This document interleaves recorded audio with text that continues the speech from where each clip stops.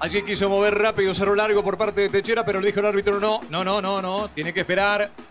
Tiene que esperar que suene el silbato. Allí está el árbitro Pablo Jiménez, el principal de este partido, iniciando esta fecha número 6 del torneo Apertura. Está Techera que levanta las manos. Le puede pegar Rabino también con pierna derecha. Vamos a ver. Está Facundo Rodríguez, está también Martín Gianoli, está Mauro Brasil, el capitán de Cerro Largo. Está ubicándose el Rafa García. Viene la pelota larga para Mauro. Gana con golpe de cabeza Brasil. La mandó al medio. Saca carreras con golpe de cabeza. Otro golpe de cabeza al medio. Atención, le quedó para Cerro Largo. Remate al arco. ¡Está! ¡Gol! ¡Gol! Hugo Silveira. ¡Gol!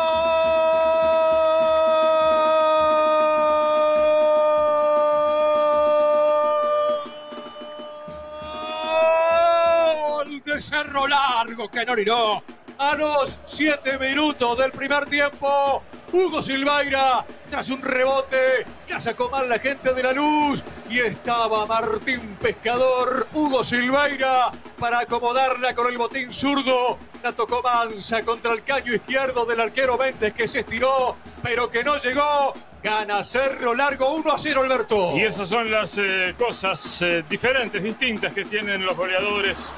Están allí siempre en el lugar indicado son oportunos, como en este caso Hugo Silveira, para tomar ese balón, para eh, aprovechar, capitalizar ese rebote, rematar y marcar en el comienzo mismo, en el amanecer del partido, este gol que no sé si le va a cambiar o no el rumbo al encuentro, pero sí va a trastocar los planes del técnico de la luz, el Nacho Payas, que va a tener que eh, variar seguramente su sistema, la forma de, afrontar este compromiso, tomando en cuenta que ya desde el comienzo mismo pierde por 1 a 0.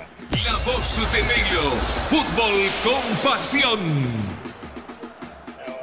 Aquí se viene el Cerro Largo, el remate. ¡Gol! ¡Gol, Facundo!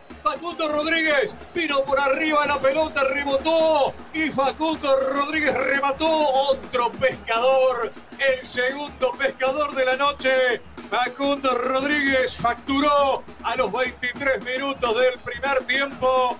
Esos cachores no se le pueden dejar a Cerro Largo.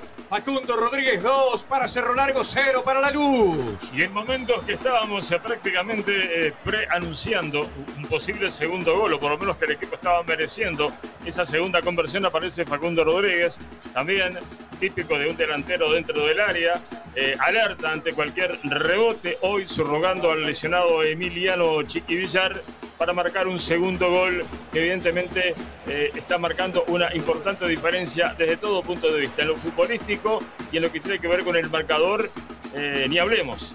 Eh, creo que no esperaba la luz ni el más pesimista, hincha del equipo de Aires Puros, muchos menos sus futbolistas y su técnico Nacho Payas, estar ya promediando este primer tiempo en desventaja por 2 a 0. Y para eh, la tranquilidad de poder planificar de aquí en adelante de ir regulando las acciones y fundamentalmente de que el equipo se siga parando bien en la cancha. La voz de Melo, fútbol con pasión. Saliendo otra vez el equipo de la luz, tocaron para Quintana. Allá la tiene Quintana. Quintana y el balón rebota nuevamente. Ahora en Mauro Brasil se va a perder afuera.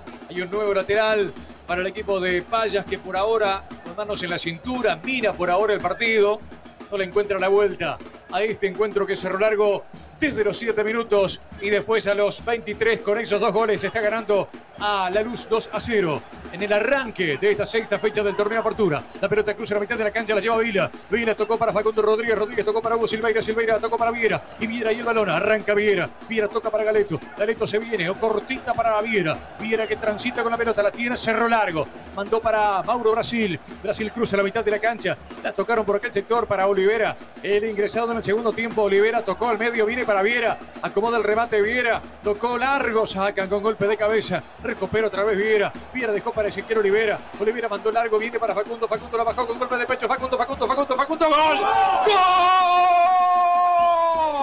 ¡Gol!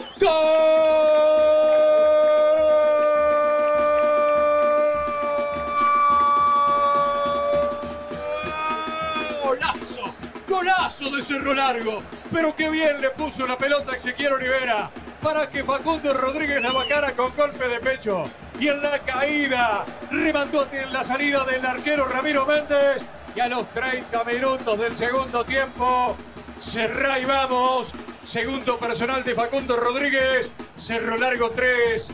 La luz 0. Era previsible que la luz al exponerse, al adelantar sus líneas, quedara evidentemente otorgando importantes espacios. Acá un muy buen centro cruzado del recién ingresado Ezequiel Olivera. Qué bien que la baja Facundo Rodríguez sobre la línea de fondo y ante la salida del guardameta de la luz.